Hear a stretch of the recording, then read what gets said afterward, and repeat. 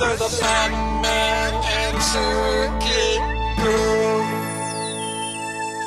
Um, yes, it's an oscilloscope. The the Irish equipment manufacturer Oscilla. Holy smokes, George! Is that an old school oscilloscope? Why, as you know, Jeri, around here we're so old school we just call it school. But yes, as a matter of fact, it is. Uh, this is a 1964 Heathkit oscilloscope that uh, I, I helped my father build. Here's the manual that, that with with his notes still in it, with his little check marks by red wire to C31 S2. That means solder, and there will be two connections there. So, yes, it is, and it was broken.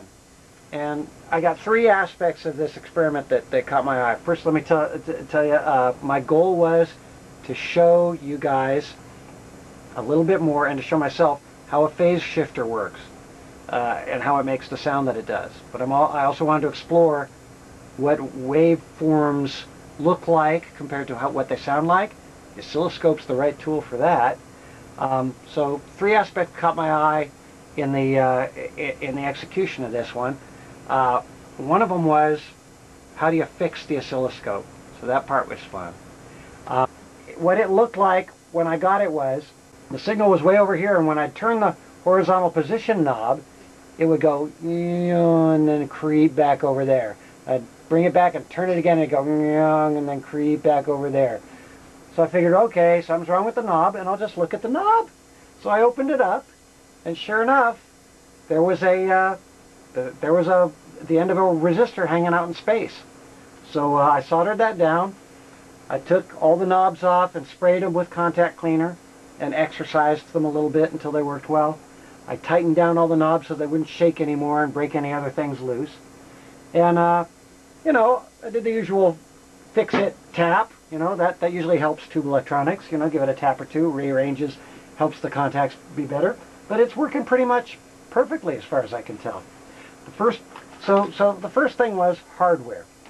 Uh, and, and how you fix it. And you just kind of look for the thing that's broken, and you think of what might cause that, and you, you approach it, and you try not to be too scared. Second thing is, how does the oscilloscope work? And the, uh, uh, the manual, the first experiment in the manual is turn all the knobs and see what happens. So you get used to, okay, this is the, the embiggening knob.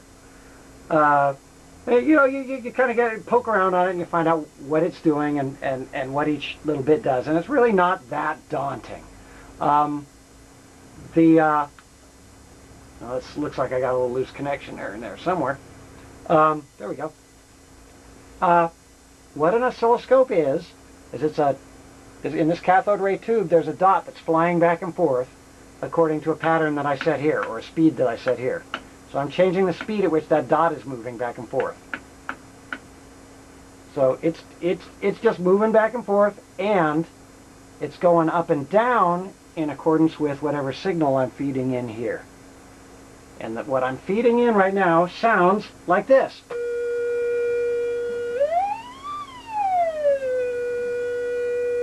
And that's the output of Dad's EICO tone generator. So it's this thing just sends out sine waves of varying frequencies. Since those are in the audio range of, of, of frequencies, uh, it's, it's a really good signal to send through a, a guitar effect and see what that guitar effect is really doing. So first let's listen to it. You all know this familiar sound.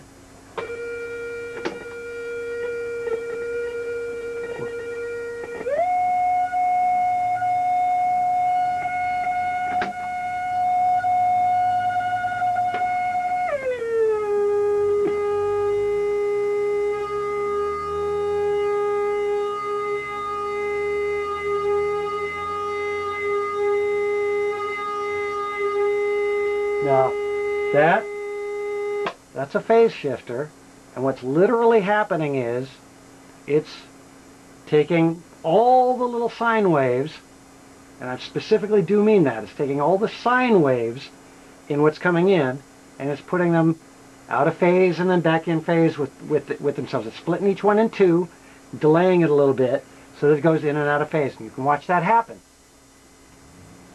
I set it to sine wave. Turn it off so you see the sine wave. Okay, I'm going to turn it back on.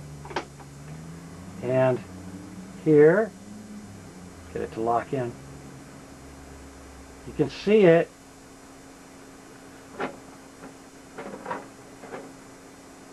Let me see if I can get it to be a little out of balance so that you can see kind of what it's doing. Well, it, it actually is working so perfectly that you kind of can't tell. But it's taking two of that same signal and it's running it past each other. And that has the effect of where the, uh, at any point where there's uh, something trying to force it up and something trying to force it down at the same time, it levels out. So what that sounds like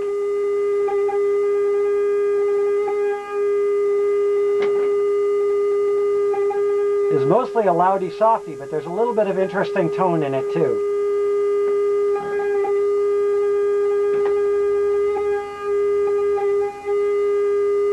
Now, if all you were running through it was a sine wave, then in theory all you'd get is loud and soft, loud and soft. So why does it sound interesting? Because, like I said, it's doing that effect to all of your sine waves. So when you play guitar, but there, there's a theory that says that any sound, no matter how complicated, can be made out of sine waves. So every, there's just this weird frequency of a lot of this frequency of sine wave and a, and a little bit of this, and this one's a little out of phase. But what, when one frequency is in phase, another frequency might be out of phase. So watch this. This, this phase shifter, instead of doing what most of them do, most of them just cycle like that.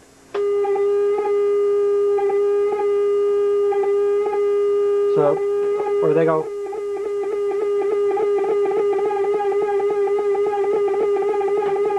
But this one, instead of cycling, you can pedal through it using, using the, the, the pedal here so we can see what's going on. So at a spot where that frequency is in phase, if I change frequencies,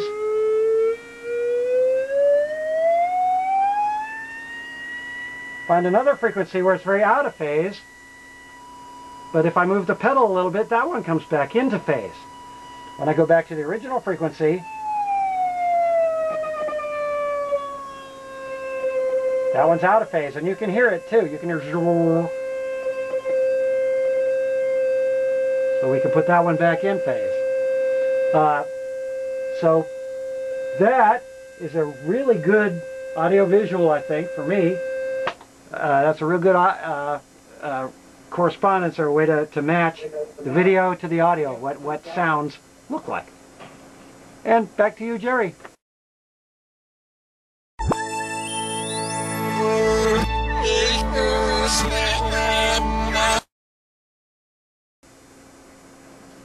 Hey, that's pretty cool. Oh, I Always love seeing seeing things, uh, uh, sine waves beating against each other and adding and subtracting amplitudes.